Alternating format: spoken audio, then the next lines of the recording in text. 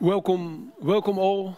So glad to see you uh, uh, uh, back. Uh, well, I'm on stage, but you're in the audience, uh, pulled away from your home office uh, cave. And well, I'm here now for, let's say, half an hour, and I feel that there is some vibe to meet each other again.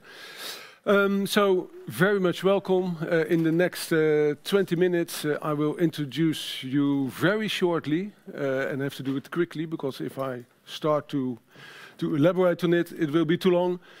The developments of uh, the Dutch environmental extended producer responsibility uh, system. The mistake of environmental is that I have very much an environmental background. Uh, I'm Manager Innovation and Sustainability uh, at Modint, and I'm uh, very busy with the uh, circular textiles uh, developments, uh, amongst other through the Dutch Circular Textile Valley, which we organized with six um, transition organizations and four hubs in the Netherlands. And on the policy field, I'm working on the EPR system. Next slide, please. Oh, I have a device for that. Great.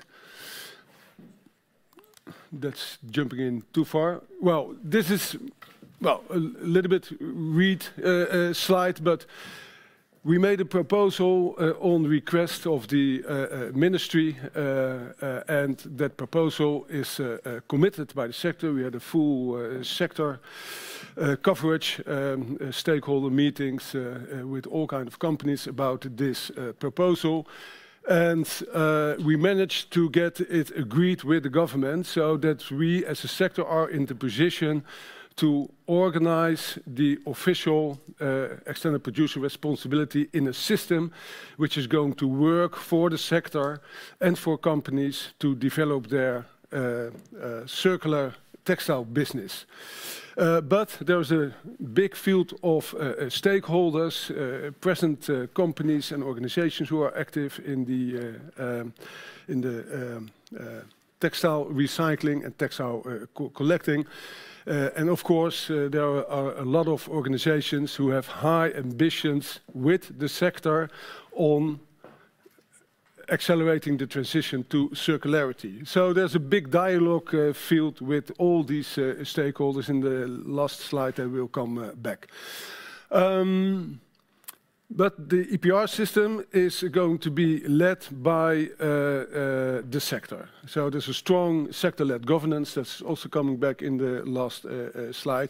It's based on the individual legal responsibility of each company, but they can uh, organize a collective uh, uh, system through uh, the sector organizations uh, Modint and INretail, which are the base organizations of the textile uh, sector, to organize this, this system.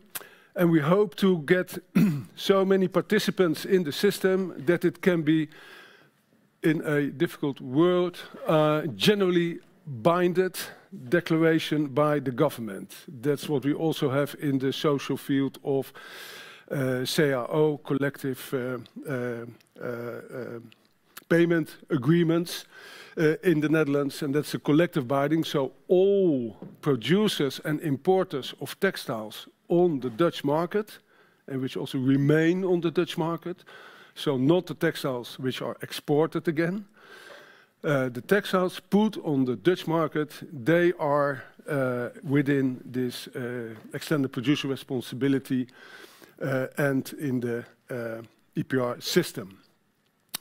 Um, we are a SME-based sector in the Netherlands. There are not three, four, five big companies who regulate the sector.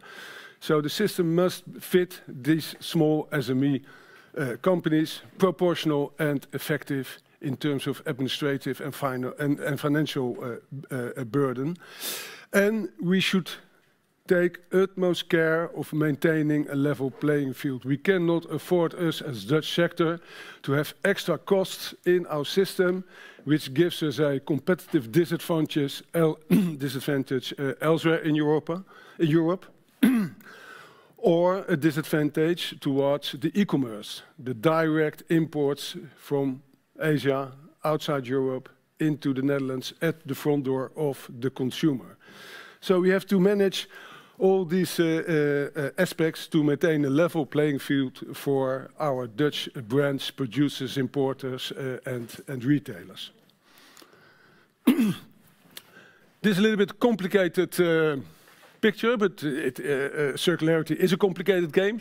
But this line are roughly the goals of the official uh, policy program uh, of the government, and we took out two aspects: sustainable and/or recycled materials, and the uh, percentage of recycling waste.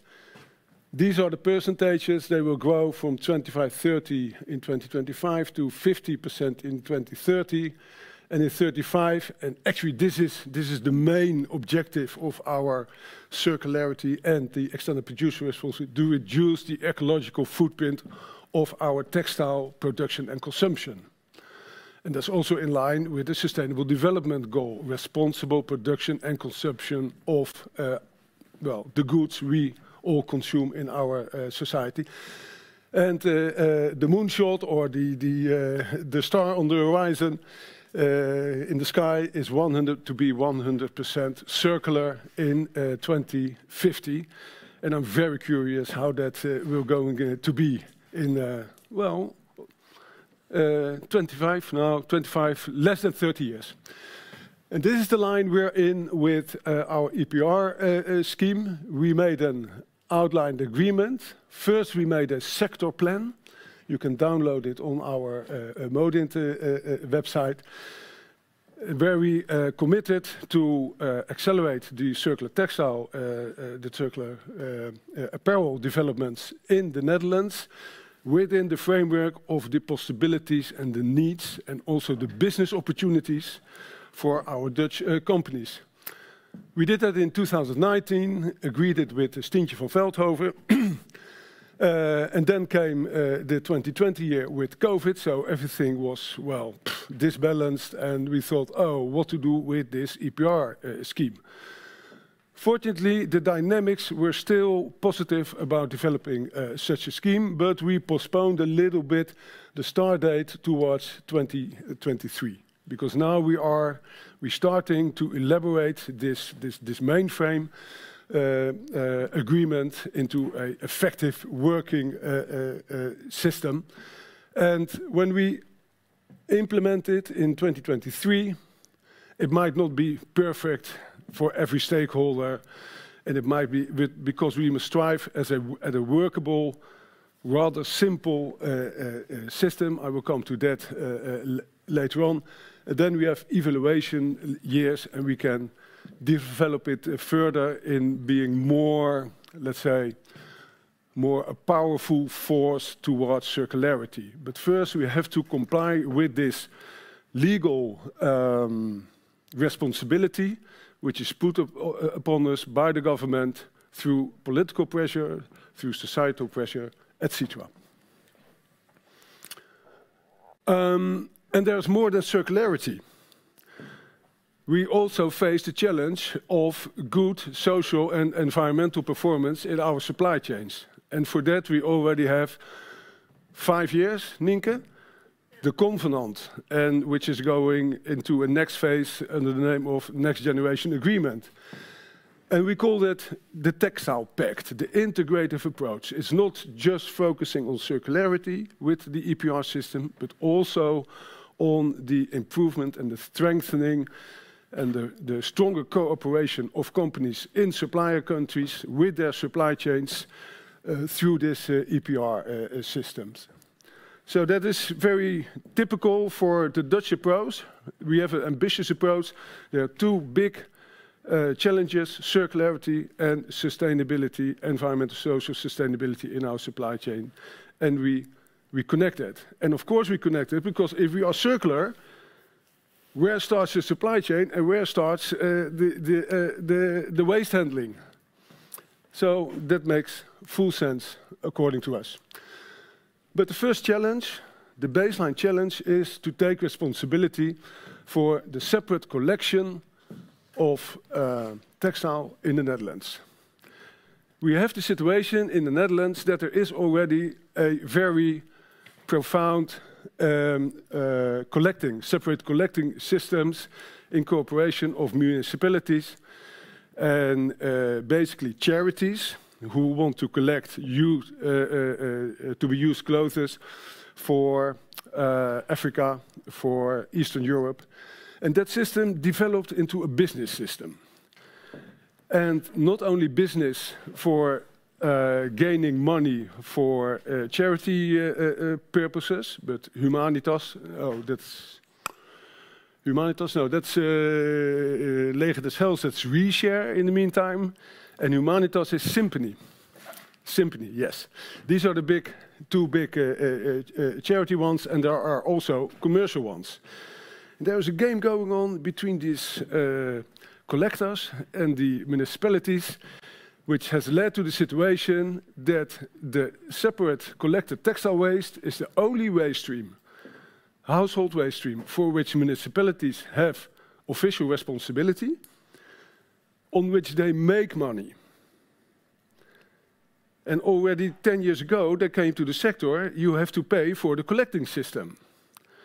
But during the discussion, we found out they make money. Okay, well, everyone, everyone is allowed to make money, especially for charity and also businesses. We are a business organization, so we, we do not say businesses cannot make money.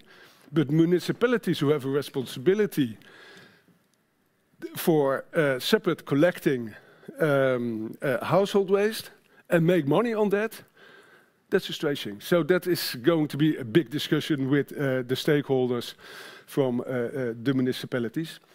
Um, but on the other hand, if you collect 50, 45%, uh, then means 55%, the majority is still in, in the grey bag or bin and is going to be incinerated. Well, this is the overall picture.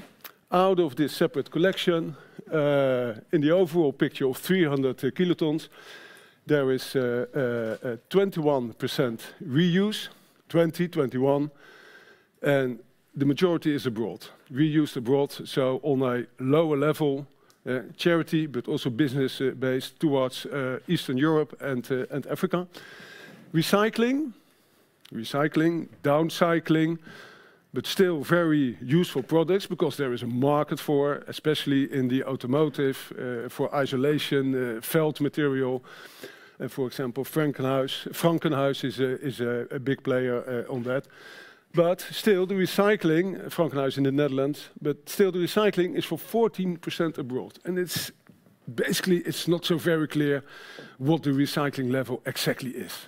It's a little bit vague recycling, worldwide recycling business. And we as a sector, as we have to take responsibility, we, want to, uh, don't want to be faced with uh, programs on Sunday evening about look where our textile waste goes under the name of recycling. And then, well, a, famous or uh, infamous uh, uh, place in, in India is uh, Panipat, where there's a lot of child labor who are making local, low-grade uh, uh, uh, products for their people, for their society. and that's not, that's not the challenge. What is the challenge of the EPR system? The EPR system, the challenge of the EPR system is to develop high-level, quantitative and quality textile to fiber recycling so we can use these fibers again in our new clothes. Who in the audience has recycled content in its dresses of today?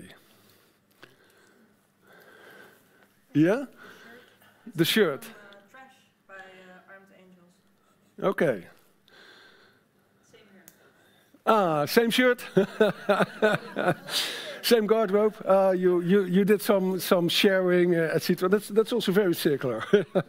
yeah, well, this indicates that it's still difficult to buy clothes I need to have. I need to have. I say, oh, I have this suit and it's a nice suit and I will wear it for, for 10 years. So that is for longevity.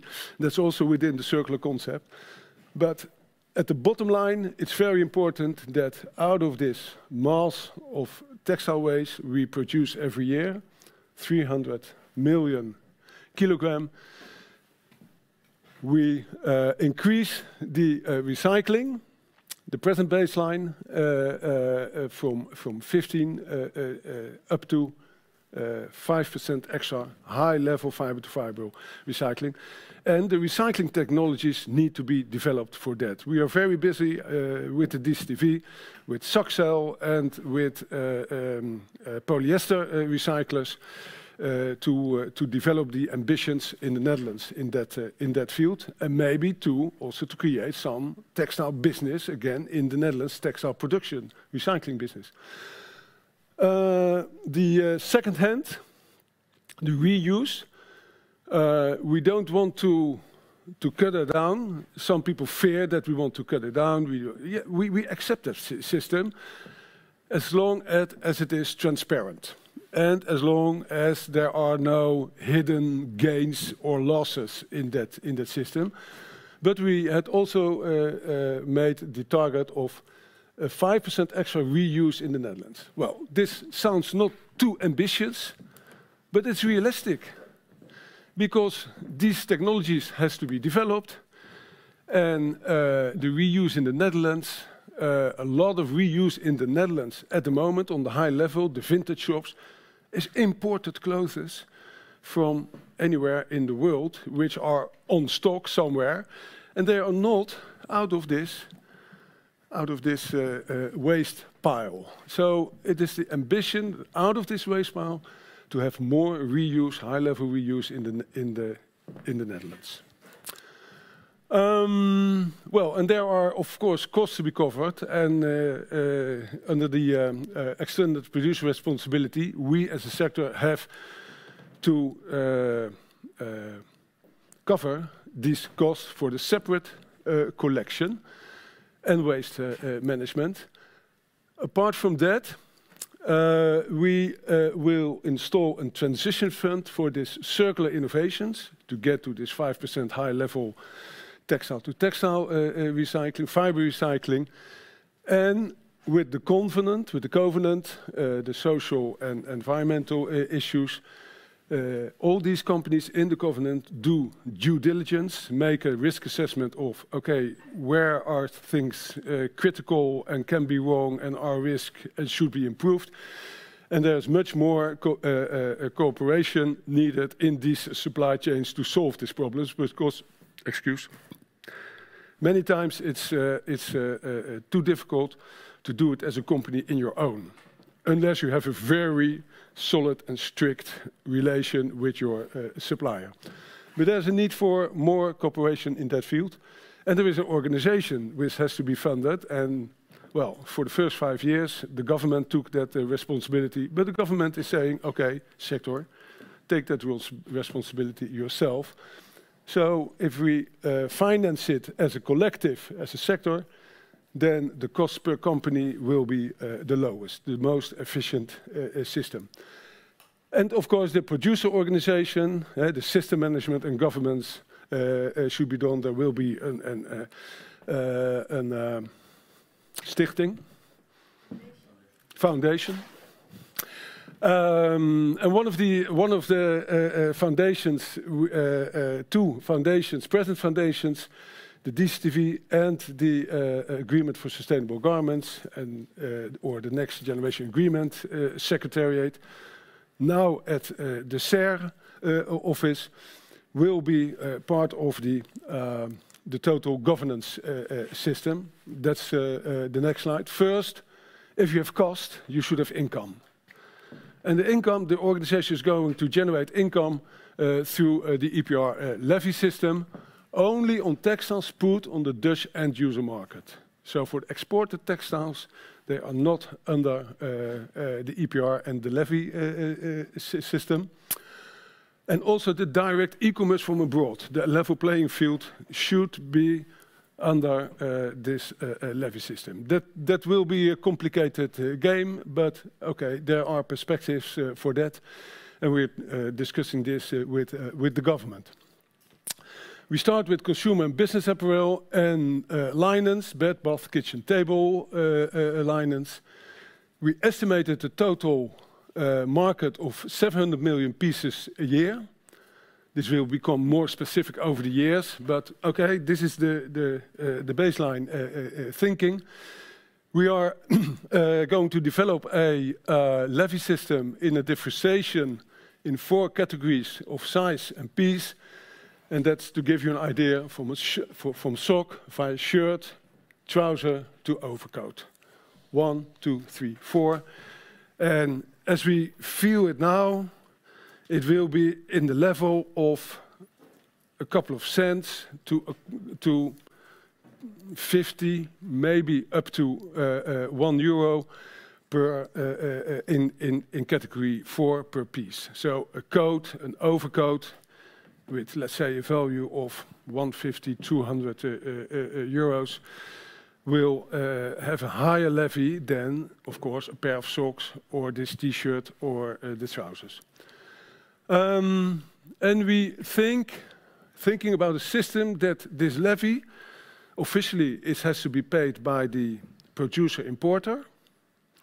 So he will get the bill from the producer organization, producer responsibility organization, but the levy should walk with all sales through to the end consumer. So through the business chain to the end consumer. We are discussing this with the companies right now, how this how we can elaborate that in practice. And we will try in the beginning to already um, have a reduced fee for companies who already started the uh, circularity and the sustainability. Uh, so uh, based on percentage recycled content in a T-shirt, for example, the levy might be lower. 0%, 50% reduction, uh, 20% reduction, we do not know yet. To be discussed, to be elaborated uh, uh, the coming one, one and a half year. Many people ask for, okay, if a piece of garment is designed for recycling, is recyclable. We as a company have a return facility by ourselves. Does that give us a reduction on the levy? Okay, we're going to think that, but return facility, you can see, you can you can show, but designed for recycling, that's that's, that's a little bit uh, difficult to uh, to uh, define. And just to be recyclable, the matter is, is it recycled? Eh? And well, many people think, okay, it's recyclable. Yes, okay, this this, this cotton shirt is also recyclable, but is it really going to be recycled? Is it organized? Is is there a system? And there we have this fund for to develop this. And that's a very clear one. We are looking at uh, reduced fee based on participation in the Dutch um, Responsible Business uh, Conduct uh, Agreement, the covenant. So then finally, the governance picture, what I said, there will be a board Uh, of uh, uh, producers and retailers to be appointed by INretail and Modint. There will be a supervisory council, which is a multi-stakeholder, because from the stakeholders and the government, there will be two stakeholders and one government representative in the supervisory council. And there will be an EPR producer organization, which will cooperate, which will do the baseline of the organization, the baseline management of the system. And the circularity and the covenant will be uh, uh, organized by and managed by the DCTV and the AGT. And these organizations will evolve into a, let's say, a um, part of this uh, extended producer responsibility organization. Very important is to have framework agreement with the present municipalities, collectors and recyclers about what they do and what cost they can Uh, have covered by uh, the EPR uh, organization. And they must also fall under the due diligence obligations as we have in the in, the, in the AGT, because what I said, there's very much unclear about, for example, recycling destinations and level in third world countries, low production, low production cost countries. There will be a stakeholder council, which will directly advise the board and most likely uh, an, an, expert council on circularity and on uh, uh international uh, uh, business, responsible business conduct, will have an advisory function on the DCTV and the, and the AGT. So this is the rough organizational picture, and with that I came to the end of my presentation.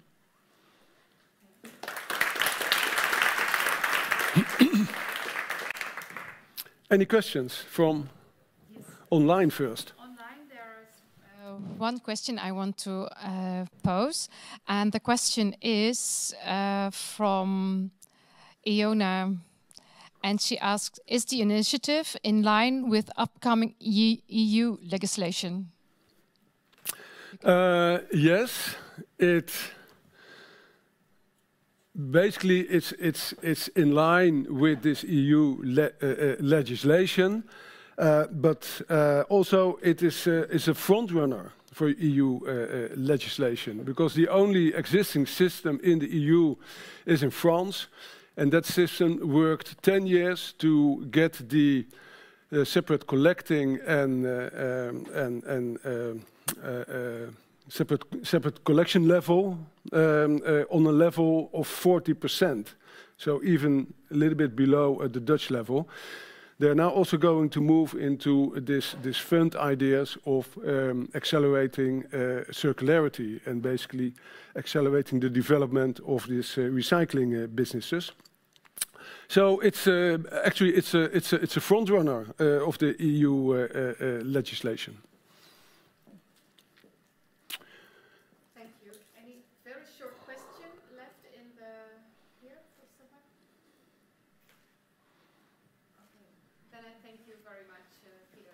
I thank you for your attention.